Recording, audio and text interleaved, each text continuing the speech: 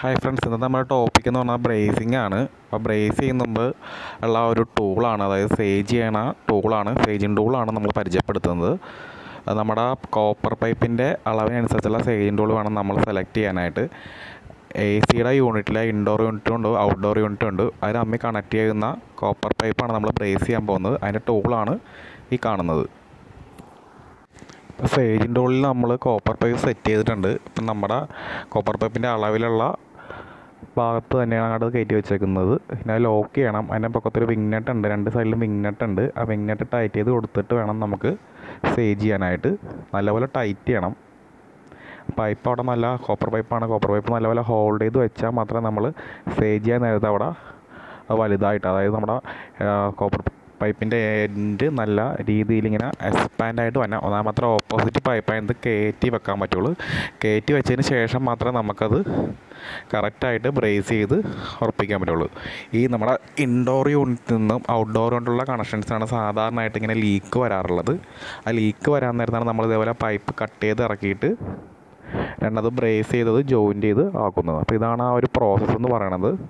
ആ സേജിൻ ടൂൾ എടുത്തിട്ട് നമ്മൾ കണക്ട് ചെയ്ത ആ കോപ്പർ പൈപ്പിനകത്തോട്ട് കയറ്റിയിട്ട് അതിന്റെ എൻഡ് ഭാഗം നമ്മൾ ഹാൻഡിൽ ഇങ്ങനെ തിരിച്ചു കൊടുക്കുക തിരിച്ചു കൊടുക്കുന്നത് നോബ്സ് അതിനകത്ത് കയറി നല്ലോണം ഇരുന്നിട്ട് അതിങ്ങനെ കറങ്ങണ കൊണ്ട് എന്ത് ചെയ്യും?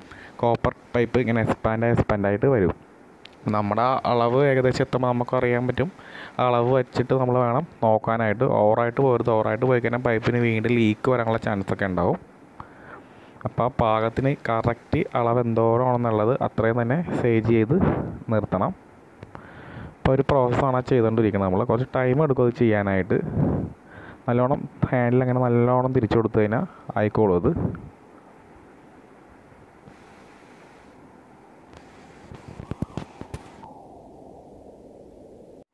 ഒരു രണ്ട് മിനിറ്റോളം നമുക്ക് എടുക്കും ഇത് ചെയ്യാനായിട്ട്. ഒരു രണ്ട് മൂന്ന് മിനിറ്റ് ചെയ്താൽ മാത്രമേ കറക്റ്റായിട്ടുള്ള പൈപ്പ് എക്സ്പാൻഡ് ആയിട്ട് വരുള്ളൂ നമുക്ക് പതുക്കെ ഒന്ന് അഴിച്ചെടുക്കാം. അപ്പം അതിന്റെ അകം കണ്ടാൽ നമുക്ക് മനസ്സിലാവാൻ കണ്ട? സാധാരണ അതിനേക്കാൾ കുറച്ചുകൂടെ എക്സ്പാൻഡ് ആയിട്ട് ഇരിപ്പുണ്ട്.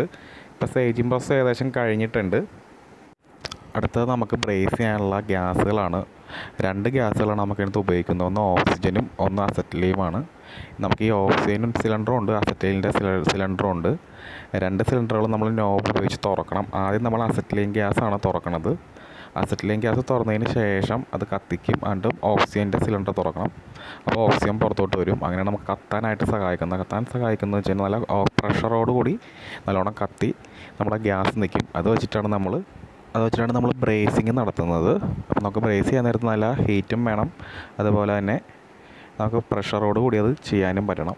അപ്പോൾ ഓക്സിജൻ അസിറ്റൈൻ ഗ്യാസ് ഉണ്ടെങ്കിൽ മാത്രമേ ഈ ഒരു കാര്യം നന്നായിട്ട് നടക്കുകയുള്ളൂ നമ്മൾ ആദ്യം അതിന്റെ ലോക്ക് തുറക്കണം.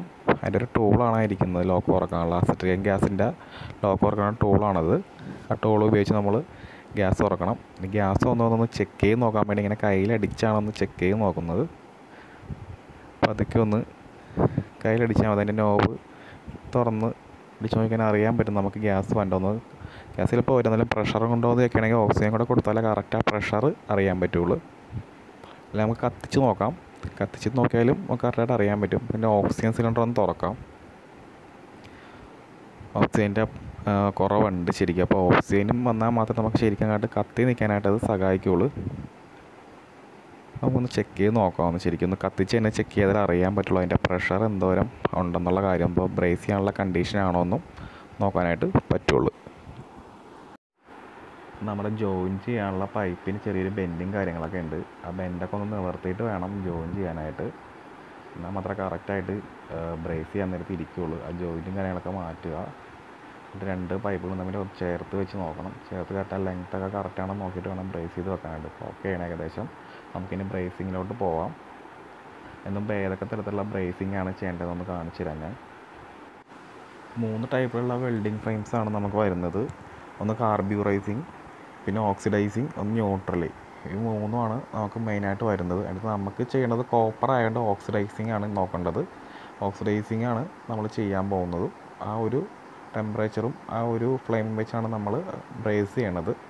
അപ്പോൾ അതിന്റെ ഒരു ഫോട്ടോയാണ് ഞാൻ അറ്റാച്ച് ചെയ്തേക്കുന്നത്. നമുക്കത് വായിച്ച് നോക്കിയിട്ട് ഏതൊക്കെ മെറ്റൽസാണ് നമ്മൾ യൂസ് ചെയ്യണം ആ മെറ്റൽസിന് അനുയോജ്യമായ ആ ഫ്ലെയിം വെച്ച് വേണം ചെയ്യാനായിട്ടുണ്ടെങ്കിൽ മാത്രമേ അത് പ്രോപ്പറായിട്ട് സിറ്റിംഗ് ആവുള്ളൂ. അപ്പോൾ ആ ഒരു ഫിഗറാണ് ഈ കാണുന്നത്. നേരത്തെ പറഞ്ഞ ആ ഗ്യാസ് നമുക്കൊന്ന് ചെക്ക് ചെയ്ത് നോക്കാം കത്തിച്ച്. നോബൊക്കെ തുറന്ന് തന്നെ വെച്ചേക്കാണ് പ്രഷർ നോക്കണമെന്ന്. ഓക്കെ കത്തിയിട്ടുണ്ട്. അപ്പോൾ നമുക്കിനി ബ്രേസിങ്ങിലോട്ട് കടക്കാം. ഫ്ലെയിം അഡ്ജസ്റ്റിംഗ് ആണ്. കറക്റ്റായിട്ട് നമ്മൾ ഫ്ലെയിം നമുക്ക് ഓക്സിഡൈസിങ് ആണ് വേണ്ടത്. അപ്പോൾ അതേപോലെ ടെമ്പറേച്ചറിൽ ഫ്ലെയിം അഡ്ജസ്റ്റ് ചെയ്താൽ മാത്രമേ നമുക്കത് കറക്റ്റായിട്ട് ബ്രേസ് ചെയ്യാൻ പറ്റുള്ളൂ. നമ്മൾ അതാണ് ചെയ്യുന്നത്. ഇപ്പോൾ ഏകദേശം ആയിട്ടുണ്ട്. നമുക്കിനി ബ്രേസിങ്ങിലോട്ട് കിടക്കാം. അപ്പോൾ നമ്മൾ നേരത്തെ പറഞ്ഞ രണ്ട് കോപ്പർ പൈപ്പുകൾ തമ്മിൽ ജോയിൻ ചെയ്തിട്ടുണ്ട്. കണക്ട് ചെയ്ത് വെച്ചേക്കണേ. നമുക്കിനി ബ്രേസ് ചെയ്തത് പ്രോപ്പറായിട്ട് ജോയിന്റ് ആക്കണം. അപ്പോൾ ലീക്ക് വന്ന ഭാഗമായ കൊണ്ടാണ് നമ്മളത് അഴിച്ചെടുത്ത് ഇങ്ങനെ ചെയ്തത്. അപ്പോൾ ഒന്ന് ഹീറ്റ് ചെയ്ത് കൊടുക്കുകയാണ് ആദ്യം. എന്നിട്ട് വേണം ബ്രേസിങ്ങിലോട് അതിനകത്തോട് വെക്കാം നമ്മൾ സാധാരണ വെൽഡ് ചെയ്യണ പോലെ വെൽഡിനോട് വെക്കണ പോലെ തന്നെയാണ് ഇതും ചെയ്യുന്നത്. അസിറ്റിലിയൻ ഗ്യാസ് വെച്ചിട്ടാണ് പ്രോപ്പറായിട്ട് ചെയ്യുന്നത് സിറ്റിംഗ് ആക്കണത്.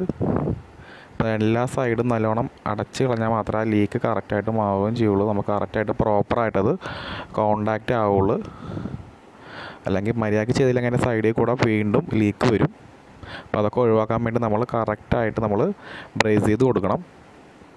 ബ്രേസ് ചെയ്യണം. ആ ഗ്യാസിന്റെ ആ ഒരു ടെമ്പറേച്ചർ കറക്റ്റായിട്ട് മെയിന്റെയിൻ ചെയ്യാനാണ് ഇത്തിരി ടഫായിട്ടുള്ളത് നമ്മൾ ഓക്സിജന്റെയും അസറ്റിലിൻ ഗ്യാസിന്റെയും അളവ് ഏകദേശം കറക്റ്റായിട്ട് നമ്മൾ ചെയ്ത് വെച്ചാൽ മാത്രമേ ആ ഒരു പ്രോസസ്സ് കംപ്ലീറ്റ് ആവുള്ളൂ. ഓക്കെ ഇപ്പോൾ ഏകദേശം സെറ്റ് ആയിട്ടുണ്ടത്